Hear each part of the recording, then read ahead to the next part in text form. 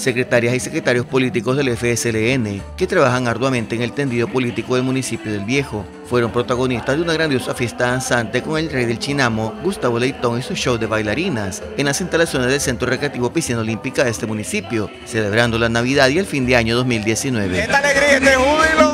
es porque hoy estamos celebrando la despedida del año viejo, pero además de eso estamos reafirmando el compromiso compromiso que tenemos con nuestro comandante, presidente, compañero Daniel Ortega Saavedra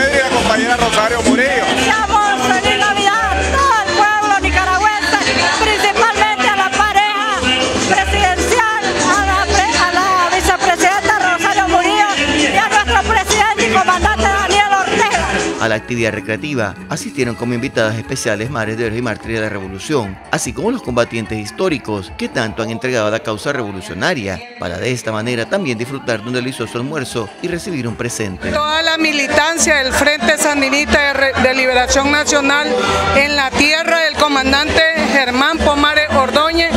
hemos ratificado el compromiso y respaldando al comandante Daniel y a la compañera Rosario que vamos por la paz, la reconciliación y el amor y la tranquilidad de la familia nicaragüense. Así que hoy nos sentimos llenos de orgullo, nos sentimos satisfechos y complacidos del trabajo que el comandante Daniel y la compañera Rosario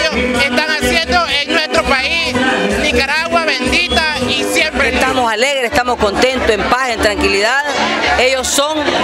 el motor que en la base, que en la comunidad, que en el barrio mueve la existencia de este partido y están comprometidos con esto y son tiempos de, de más victoria y están disfrutando de esta paz, mis hermanos. Estamos alegres, estamos como lo que somos, una gran familia sandinista en este municipio. Concursos y alegres dinámicas fueron parte de las vivencias que ha dejado esta festividad, donde el amor, la paz, el compañerismo y la solidaridad de esta gran familia roja y negra se ha consolidado y avanza hacia nuevas victorias de la mano de Dios y este buen gobierno de los pobres.